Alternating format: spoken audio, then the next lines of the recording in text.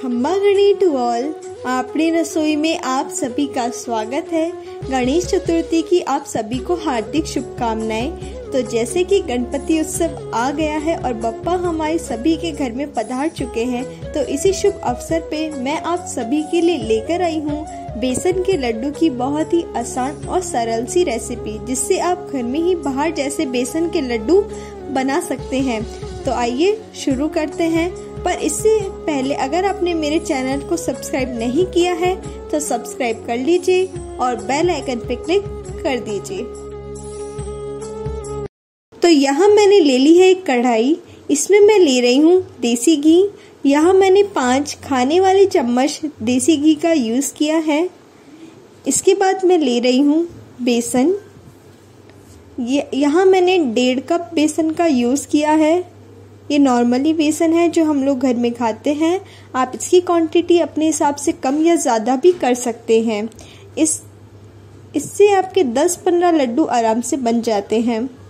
बस हमें low flame पे लगातार इसे चलाते हुए पकाना है, जब तक कि आपके बेसन का कलर थोड़ा लाइट ब्राउन नहीं हो जाता। आप चाहे तो इसमें हल्दी भी ऐड कर सकते हैं रंग के लिए। मैंने यहाँ हल्दी का यूज़ नहीं किया है। बस हम इसे लगातार चलाते रहना है। आप देखेंगे कि धीरे धीरे आपके बेसन का कलर चेंज होता रहेगा और ये धीरे धीरे अपना घी भी मेल्ट करना शुरू कर देगा। जैसा कि आप देख सकते हैं। ये देखिए, लगभग 10-15 मिनट बाद मेरा बेसन सक्के तैयार है। इसके बाद मैं ले रही हूँ बूरा। यहाँ मैंने एक कटोरी बूरे का यूज़ किया है। जब आपका बेसन पूरी तरीके से ठंडा हो जाए, तभी हम इसमें बूरा ऐड करेंगे और इसे अच्छे से बेसन में मिक्स करेंगे हाथों की सहायता से। ये देखिए, इसके अपने आप ऐसे हाथों में से गुट से बनने लग जाएँगे। बस, अब हम इसके लड्डू बनाना शुरू करते हैं। गोल गोल लड्डू बना लेते हैं हम इसके। हाथों की सहायता से। देखिए, कितने आसानी से हमारे लड्डू बन के तैयार है। इसी तरीके से हम अपने बाकी लड्डू भी बना लेते हैं।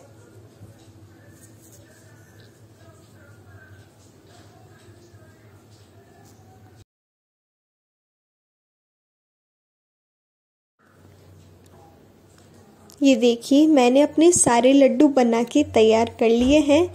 लग रहे हैं ना, एकदम बाहर जैसे लड्डू। और कितने आसानी से हमने हमारे लड्डू बनाकर तैयार कर लिए हैं।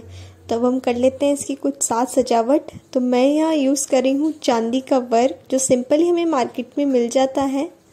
बस हम उसे अच्छे से इस पर कवर कर देंगे। ये ऑप्शनल है। आप चाहे तो इसे सिंपल ऐसे भी खा सकते हैं।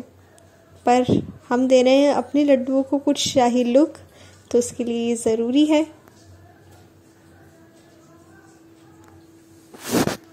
ये देखिए, मैंने चांदी के वर्क से अपने लड्डू को कवर कर लिया है।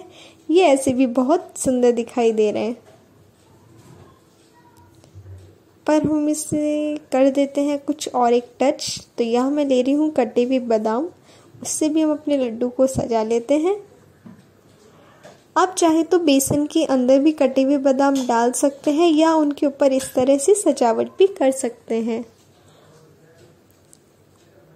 इसके बाद मैं ले रही हूँ पिस्ता कतरन। बस, पिस्ता से भी हम अपने लड्डू को अच्छे से डेकोरेट कर देते हैं।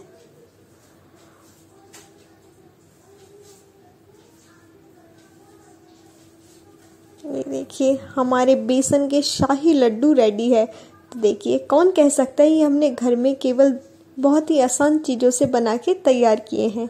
तो आप भी इस रेसिपी को ज़रूर ट्राई कीजिएगा और मुझे कमेंट करके बताइएगा कि आपको मेरी ये रेसिपी कैसी लगी।